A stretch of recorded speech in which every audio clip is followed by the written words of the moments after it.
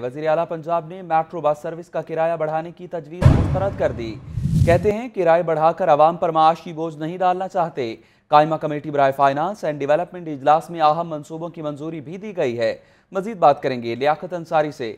لیاقت، وزیر اعلیٰ پنجاب کہتے ہیں کہ عوام پر مزید بوجھ نہیں ڈالیں گے۔ آج بالکل اعلیٰ سطح اجلاس وزیر پنجاب ستار عثمان بزدار کی زیر صدارت ہوا ہے جس میں ڈپارٹمنٹ کی طرف سے میٹرو بس سروس کے کرایے میں اضافے کی تجویز پیش کی گئی۔ لیکن وزیر اعلیٰ پنجاب نے یہ تجویز مسترد کر دی۔ وزیر اعلیٰ کا کہنا تھا کہ کرایہ بڑھا کر غریب عوام پر معاشی بوجھ نہیں ڈالنا چاہتے۔ تاہم، جو پنجاب ماس ٹرانزٹ اتھارٹی کے حکام ہیں، انہوں نے کرایہ بڑھانے کی جائے وسائل میں اضافے کے لیے جو دیگر آپشنز ہیں، ان کو بریک کار لانے کی ان کو حکم دیا گیا ہے۔ اور کہا گیا ہے کہ عام آدمی کو ریلیف دینا جو ہے حکومت پنجاب کی ذمہ داری ہے، اس حوالے سے اقدامات کیے جائیں۔ وزیر اعلیٰ نے پنجاب ماس ٹرانزٹ اتھارٹی کے لیے نئے ایم ڈی کی تقرر کے لیے ضروری پروسیس جو ہے اس کو مکمل کرنے کی منظوری دے دی ہے۔ جبکہ جو ٹریک کے ملازمین ہیں، وہ پرانے ملازمت ان کی وفات کی صورت میں اہل خانہ کو مالی امداد دینے کی بھی منظوری دی گئی ہے۔